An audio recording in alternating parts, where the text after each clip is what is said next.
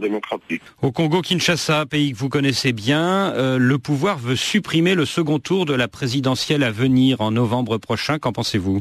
Je pense que c'est contraire à la Constitution et donc je ne suis pas certain que ce soit une bonne chose. Je ne sais d'ailleurs pas si le pouvoir veut supprimer le deuxième tour. Bon, ça fait partie sans doute du débat interne. C'est une position, je ne sais pas si elle est partagée par tout le gouvernement. Je ne sais pas si c'est un ballon d'essai, je n'en sais rien. Mais en tout cas, quand des lois existent, il faut les respecter. Je ne pense pas qu'on joue comme ça avec les lois. On ne se grandit pas en modifiant une loi simplement pour arranger euh, des petites spéculations de type personnel. Les autorités affirment qu'une élection présidentielle à deux tours, c'est l'occasion de créer plus de troubles. Exemple, le Kenya et la Côte d'Ivoire.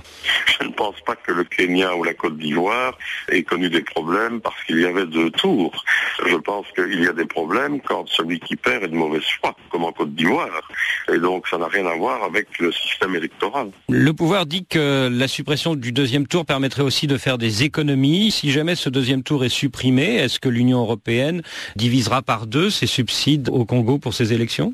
Ce n'est pas moi qui ai le pouvoir, ce pouvoir-là au niveau de l'Union européenne. Je pense que ce serait quand même difficile pour l'Union européenne de rester engagée, comme elle a toujours été financièrement et politiquement, de manière très positive par rapport à la RDC, si on commence à jouer avec les lois.